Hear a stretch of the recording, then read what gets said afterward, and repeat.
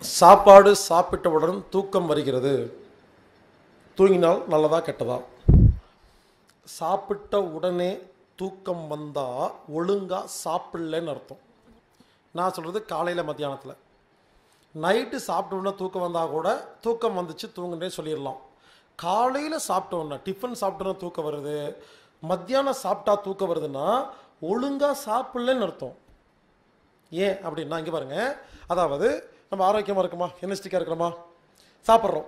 தப்பு தப்பாக சாப்பிட்டோன்னே நமது உடம்பில் பவர் இருக்கு இல்லையா? எனர்ஜி அது என்ன பண்ணுது? சாப்பாட்டை ஜீரணம் பண்ணுறக்கே மொத்தமாக போயிருந்தால உங்களுக்கு வந்ததுக்கு பேர் தூக்கம் இல்லை மயக்கம்.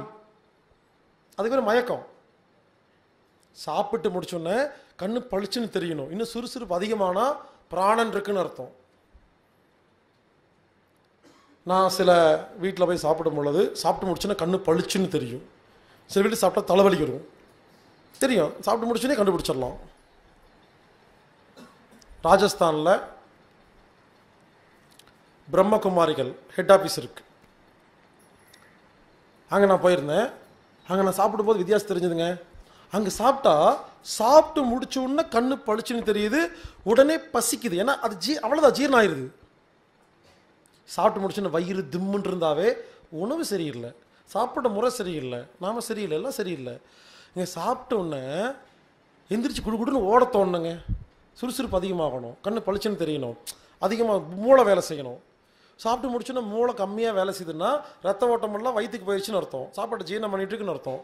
ஒன் சில பேர்த்துக்கு ஒன் ஹவர் ஆகும். அந்த மப்புலேருந்து இறங்குறதுக்கு.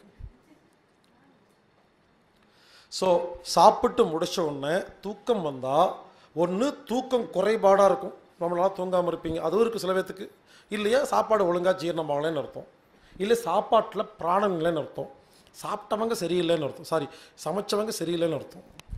சமைக்கும் போது கண்டதெல்லாம் திட்டிகிட்டே சமைச்சிங்கன்னா அதெல்லாம் உள்ளே போந்துடும் அதை சாப்பிடும்போது அவங்களுக்கு மயக்கம் வரும். சொன்னால் நம்ப மாட்டேங்க? அதெல்லாம் இருக்குது.